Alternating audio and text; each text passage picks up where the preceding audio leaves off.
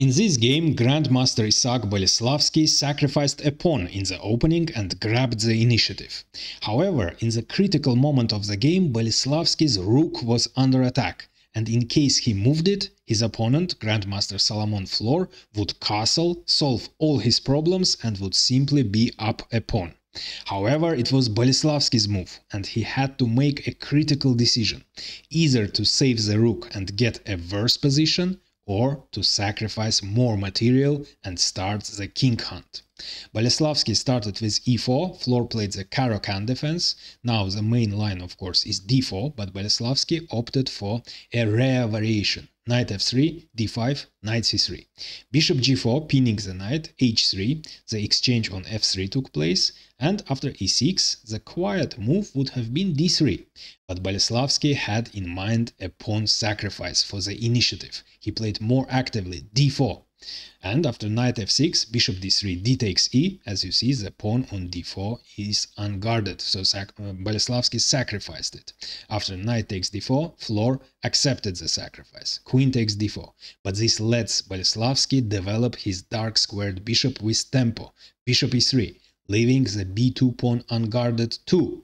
So this is the sacrifice of the second pawn, but it would have been too dangerous to accept the second sacrifice, because after queen takes b2, attacking the rook, white would simply castle kingside, and black is terribly behind in development, as you see, and the king is still in the center. Besides that, the queen would become the target of attack. After rook b1, the white rook will also be developed with tempo attacking the queen, and if the queen retreats, after it retreats, the b7 pawn would fall and the rook would invade the 7th rank. That's why after bishop e3, Flohr declined the sacrifice of the second pawn and retreated on d8. But now long castle and the rook on d1 is very actively placed and creates very unpleasant x-ray. Knight d7, bishop c4, opening the rook's file and also the bishop on c4 is actively placed, creating some possibilities of the sacrifice on e6. Queen a5, bishop d2 attacking the queen, queen b6, rook e1. And here Flohr made a serious mistake. Instead of bishop e7, finishing the development followed by the short castle, after which actually it wouldn't be so clear if Boleslavsky's initiative uh, was enough compensation for a sacrificed pawn or not. Most probably not. However, instead of bishop e7, black captured on e4. Actually, it makes sense to to exchange pieces when you are under attack and when your opponent uh, has the initiative. However, not in this position. Boleslavsky captures on e4 and the second mistake follows. Now we can see Flohr's idea. So at the moment, uh, black, of course, cannot castle queenside. Black would love to castle queenside, but it would leave the f7 pawn unguarded and white would simply capture it. That's why, before castling queenside, Flohr plays knight f6 with tempo, attacking the rook. And if the rook retreats, now the f7 pawn is defended. So the knight is blocking the queen's uh, line and if the rook retreats, black can simply castle queenside and would solve his problems, his queen king uh, safety problem and would simply be a pawn up. However, knight f6 is a terrible mistake. Probably it would have been much better to play knight c5, because on c5 the knight is defending the pawn on e6. But after knight f6, of course, Boleslavsky didn't retreat his rook, but sacrificed the bishop. While the king is still in the center, it is his last chance to start a strong attack. Bishop takes e6. Of course, black cannot capture the rook, because that would be followed by checkmate in two moves. Queen takes f7 check and queen d7 checkmate. That's why black accepts the sacrifice of the bishop. f takes e. But now rook takes e6 check. So, of course, Flohr saw the typical sacrifice of the bishop on e6. But as Grandmaster David Bronstein, who annotated this game, uh, writes, most probably, Flohr thought that this sacrifice on e6 is in his favor.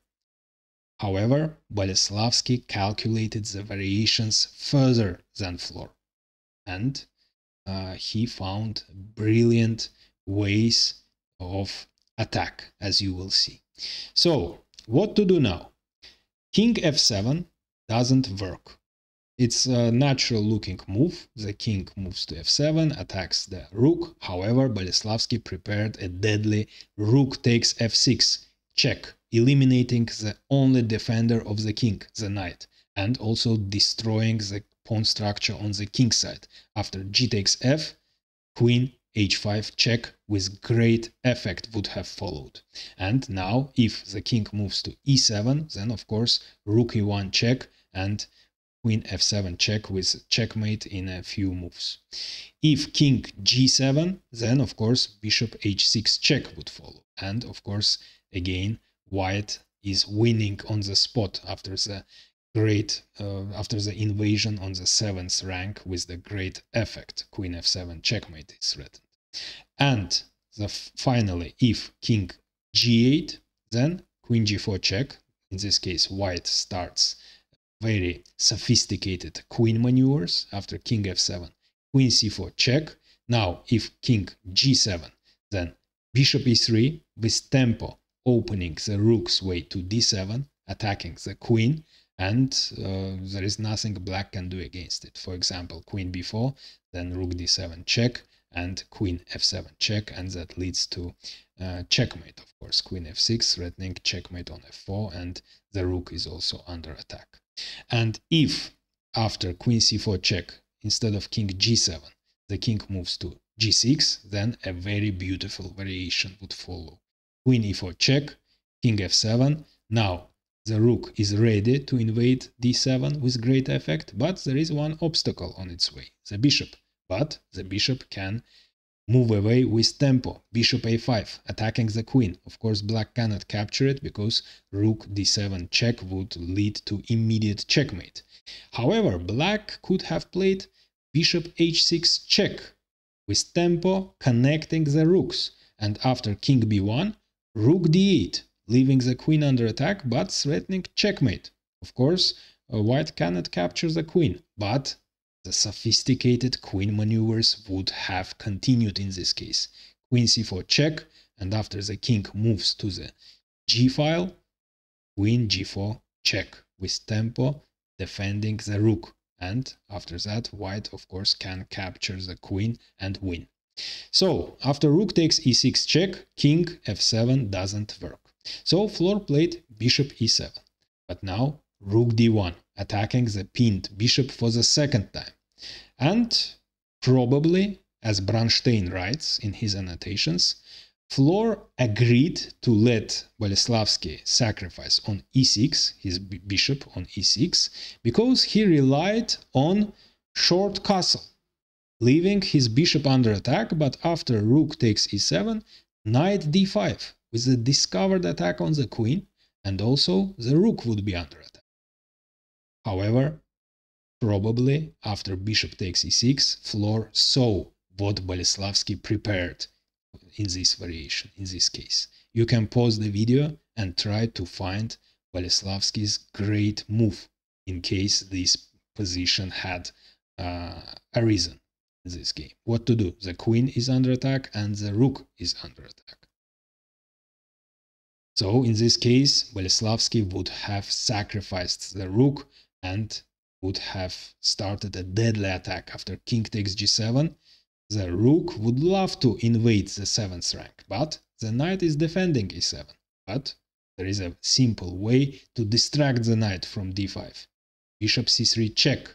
The bishop is simply intolerable, black must eliminate it, but after knight takes c3, the knight isn't defending e7 anymore, and the rook invades with great effect. And after king h6, queen takes c3, black is a rook up, however, the rook isn't doing anything, and the queen is also placed on the queen side, and the king is all alone on the king side, and the queen, together with the rook and with the g pawn, in case a king moves to uh, h5, would simply checkmate the black king. That's why after rook uh, e1, Flohr played knight d5, defending the bishop. But, of course, Boleslavsky attacks the pinned bishop for the third time, and there is no way black can defend it. So Flohr simply castled queenside, and after the exchange on e7, Boleslavsky was a pawn up. However, Flohr prepared a devilish trap. After rook f8, queen g4 check, and king uh, b8, queen takes g7, Flohr captures on f2 with the queen. And white actually can capture the b7 pawn with tempo, with check, and it looks like uh, white is winning on the spot. However, the opposite is the case. In case Boleslavsky captured the pawn on b7, he would have lost on the spot because of king a8. And it turns out that black has two deadly threats. Queen takes e7 checkmate and queen d2 check, and after the king retreats, checkmate on the back rank in two moves. And there is nothing white can do to parry the both threats. Besides that, the queen cannot leave the seventh rank as it must protect the rook, which is attacked by the king. Of course, Boleslavsky didn't fall into this trap, and instead of capturing on b7, he played b3, opening the escape square for his king. Flohr played rook g8 attacking the queen, queen takes h7, rook takes g2. Now, now that there is then an escape square for the king, Boleslavsky can safely capture on b7. And after king a8, rook e7, queen c5, h4, a5, rook e8, queen d4, again, black is threatening checkmate, that's why king b1, rook d2, the exchange of the rooks, queen e4 attacking c6, queen f6 and h5 in this hopeless position, Flohr finally resigned. And now I recommend watching David Bronstein's masterclass in a creative attack. First, he sacrificed two pawns and the rook to seize the initiative, and then started the second wave of attack, which resulted in a king hunt. But first, don't forget to like this video and subscribe as it's really helpful for the channel growth.